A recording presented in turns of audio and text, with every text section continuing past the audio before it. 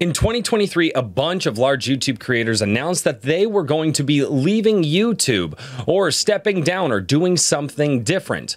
But one of the things that kind of shocked everybody was when MatPat of the Game Theorist came out in January of 2024 and mentioned that he was going to be stepping down from his Theorist brand, going on to do something else. Now, in that video, which got quite a number of views, he laid out a few reasons for why he was going to leave. However, I have a different theory, and I think it has to do with a video he released just two weeks prior. So if you guys like what I am doing here, please do me a favor, like this video, subscribe to the channel, and ring the notification bell for me. So yes, ladies and gentlemen, MatPat, the guy who built the game theorist, the film theorist, style theory, and food theory, all four of these channels are absolutely massive. The guy who basically helped produce and helped coach so many YouTube channels into success is walking away from it. And to be perfectly honest, I think it's because of this video he did right here. YouTube Shorts are gonna kill YouTube, and your favorite creators are likely going down with it. Now, if you guys haven't seen that video, I will leave the link down in the description below. But basically, Shorts came out on YouTube with a thud, a clamoring thud, a thud that was not heard by really anybody. Because, well, YouTube is a very different platform, as he goes on to explain. I also find it a little bit coincidental that he does this video just two weeks before he announces his retirement, in which he actually mentioned in the YouTube Shorts are bad uh, video that he already had the idea planned for his couch video for January. So, all of that being said, in January of 2023, YouTube basically said if you don't do shorts, your channel won't grow. You're no longer going to be able to gain views because you need to play the game that we want to because we want to compete with TikTok. And Matt MatPat gives a very, very good argument to why YouTube shouldn't be trying to compete with TikTok because the platforms function radically differently. TikTok being a passive watch experience, where YouTube being an active watch experience. This kind of has me worried, and it should have a lot of other small YouTube channels like mine worried because we looked up to a lot of these guys. We looked up to these channels that had millions of subscribers. They were doing the quote unquote dream job. But you hear a lot of these guys talk about burnout, the constant churn, the need to do things, the omnipresent algorithm, as it were. And all of that contextualized into something that basically says your YouTube channel isn't actually yours. You won't gain views unless you do what the boss says, and the boss is YouTube. The boss are the people who are controlling that algorithm, and the boss is going to tell you to do things that might be antithetical to your channel and the growth of your channel. So one has to ask, is YouTube actively doing things that are going to harm a lot of creators and their sources of income and the ability for them to grow? And I honestly think with YouTube Shorts, the answer is yes.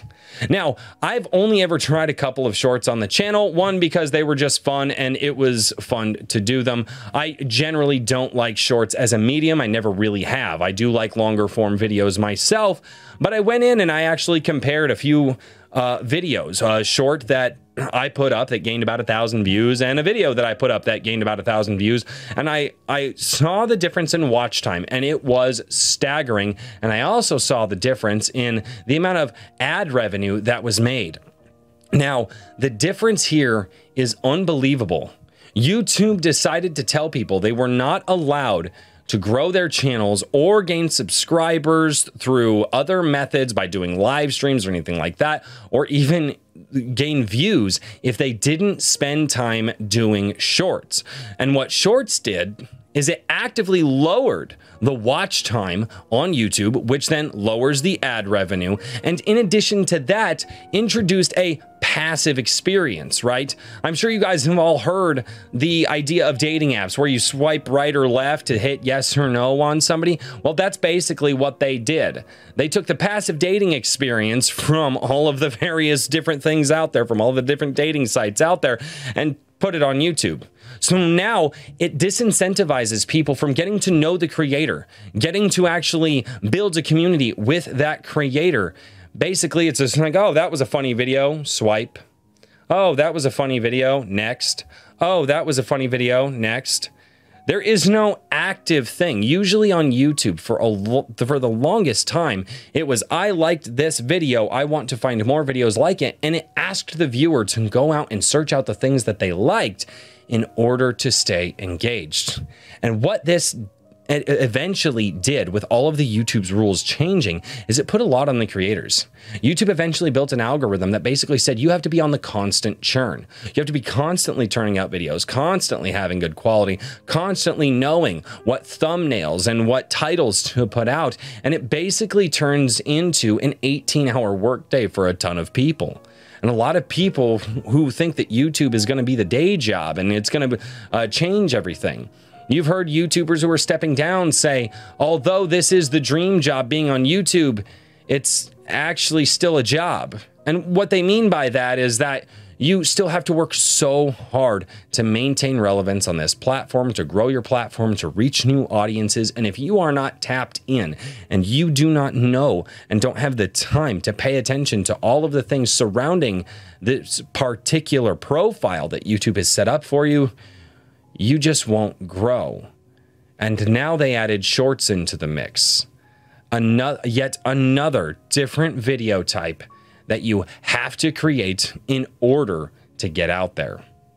So, ladies and gentlemen, not only do I think that shorts as a medium are just not good, it would seem that MatPat actually agrees. At least they're not good on YouTube.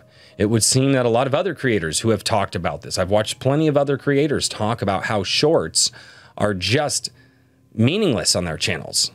They really don't bring in subscribers that watch the rest of their videos, that watch their live streams. There's no there's no viewer that goes from shorts to you know long form video which is like 5 minutes plus to live streams that bridge does not exist to get people from going from the shorts that you create to everything else so you might be able to grow subscribers but your watch time will reduce dramatically. And in order to get that watch time back up, you now have to produce at a higher level or hope or hope that you just hit the algorithm. And I think MatPat, who's been on YouTube for 13 years, recognize that that churn and answering to that boss at that level and knowing that every six months to a year, they're just going to change the rules. They're just going to adjust the thing and not knowing whether or not the change that they make is going to help you and your family survive or your company survive is a terrifying thing. And I think that that stress right there, answering to the YouTube boss, is what's driving away so many of these large creators. So, ladies and gentlemen, I have this simple question to ask What does this mean for small creators who would like to do this as their job? More than just a hobby. What does this mean for the future of YouTube? And what are we looking at in 2024? So, with all of those questions asked, don't forget to comment down below because I have a special live stream every Sunday where I read all of your comments. And this is something that I've been wanting to talk about for quite a long time. So, ladies and gentlemen, thank you all so much for watching. And as always, until next time, cheers, everybody.